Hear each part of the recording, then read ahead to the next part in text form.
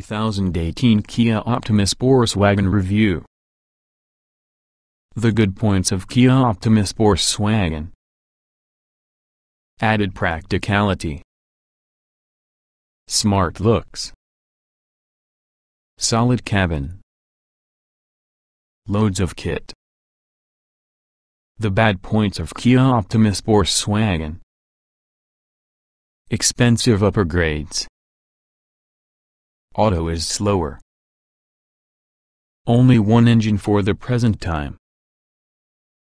The most surprising thing in regards to the new Kia Optima Sportswagon is usually that the Korean manufacturer hasn't made one before. Even sister company Hyundai features a wagon in this particular segment, the i40 Tourer, getting larger against the old benchmark Ford Mondeo Estate and slinky-looking Mazda 6 Estate. With its sights set firmly for the company car market, Kia is looking for new customers just for this pragmatic and smartly styled estate. Similar trim levels to Saloon with many different kit. Even entry-level two cars come packed out with equipment, including a 7-inch sat-nav system, reversing camera, aircon and cruise control. From there you may upgrade to 3 spec last but not least a sporty-looking GT Line S, distinguished by way of a subtle body kit and larger alloy wheels. Top spec cars like a generous equipment list including items like wireless phone charging, 360-degree camera, automatic parking, adaptive cruise control and bright LED headlights. Diesel engine with low CO2 for the time being there exists only one engine, a 60-minute .7-liter diesel, till the performance E-biased petrol GT arrives in 2017. The standard unit should interest fleet drivers though with 113 gkm of CO2, just 3 grams in excess of the saloon. In fact Kia reckons three-quarters of Optima Sportswagons goes to company car drivers. Manual cars also crack the 062 miles per hour sprint in under 10 seconds, together with the diesel motor providing suitable mid-range punch for overtaking.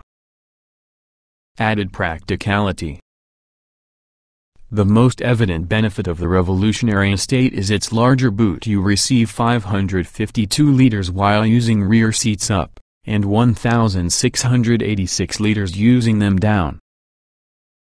There are common manner of tie-down possibilities to help you get the most from the space out back, along with a couple of underfloor trays for keeping valuable items from sight.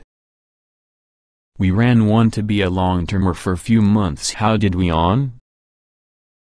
For the time being there's one engine offered, a 1-hour 7-liter diesel engine offered with two different gearboxes.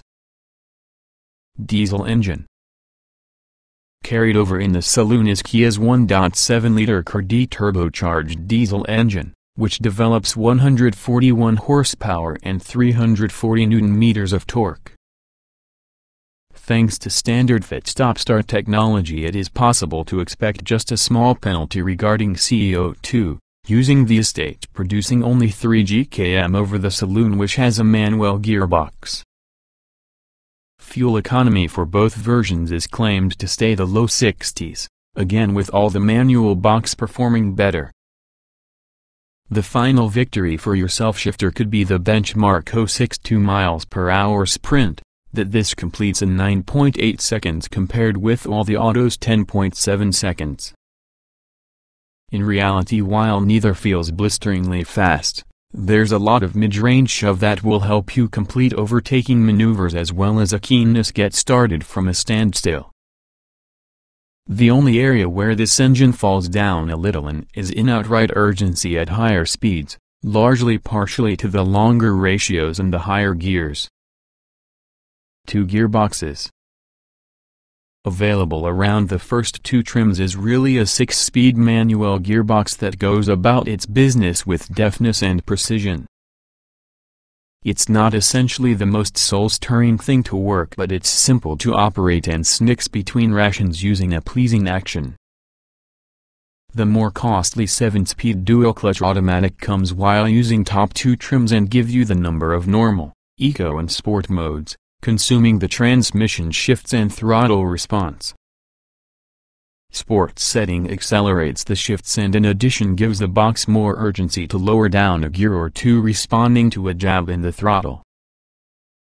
You also can grab their hands on two controls mounted paddles to consider control in the gearbox should you desire, but we found it worked alright by itself. Not a regular Kia strong point but a region where the Korean manufacturer is keen for making up ground on its rivals much like the Ford Mondeo. The Optima Sportswagon retains the saloon suspension architecture but uses a unique spring and damper rates meaning you will get a comparable ride quality and driving example of either model, regardless of the larger car's rearward bulk far better center of gravity. It's not much of a class-leading steer but seems to keep pace together with the competition with increased aptitude than previously in particular the updated traction control system which doesn't step in quite so aggressively. Grip levels are great and there's less body roll than you would expect from your car in this type.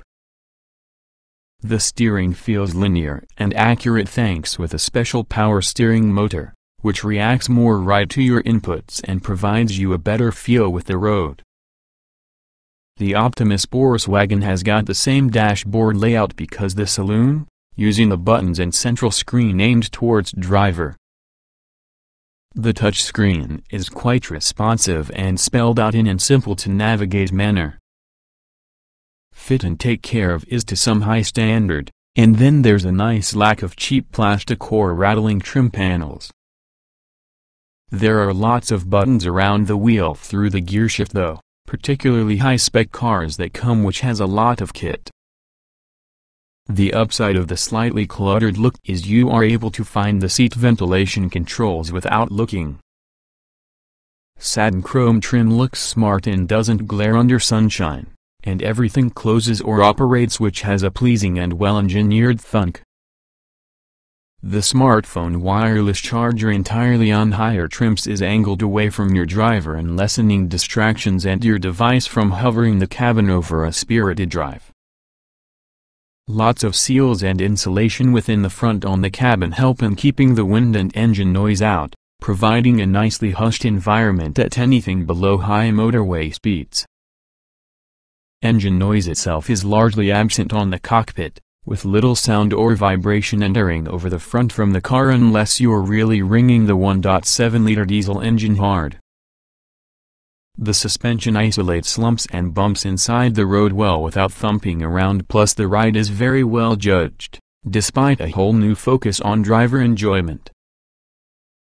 Equipment levels within the Kia Optima Sportswagon broadly continue with the saloon car's specification, with grades named 2, 3 and GT Line S. Standard Kia Optima Sportswagon equipment Matching standard equipment with all the saloon means you will get lots for the money, and several estate-specifics like roof rails, a luggage area DC power socket, on a touch folding rear seats, a luggage partition and towing connection preparation.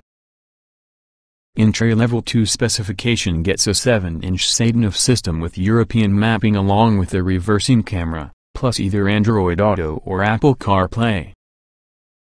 The leather tire gains stereo controls, plus you will discover front and rear USB ports, dual-zone automatic aircon with some other settings for driver and passenger, cruise control with speed limiter, electrically heated folding mirrors plus a 6-speaker DAB radio system with Bluetooth music streaming. Outside you will discover 17-inch alloy wheels and LED daytime running lights. Upgrade to level 3 and you have a luggage rail system, boot lip protector and privacy glass inside the rear. The Sat-nav screen grows to 8 inches as well as the driver's seat gains 8-way power adjustment and heating. You buy 18-inch alloy wheels, chrome and the entire body color exterior door handles and LED front fog lights. Best of all would be the Harman Kardon premium sound system as well as a powered tailgate. Top trim would be the sporty GT Line S, that's distinguished by its subtle body kit and 18-inch wheels. You also receive a wireless cell phone charger, 360-degree parking camera, automatic parking, adaptive cruise control, along with a tilt-slide panoramic sunroof. Bright LED headlights join dynamic cornering lights, plus black leather upholstery with ventilated front seats, a brilliant key with illuminated start-stop button and ambient interior lighting. While the Kia Optima Sportswagon itself hasn't been crash-tested by Euro NCAP, the saloon gained a 5-star rating in the event it was assessed, so there's pointless to assume the estate will probably be any less safe.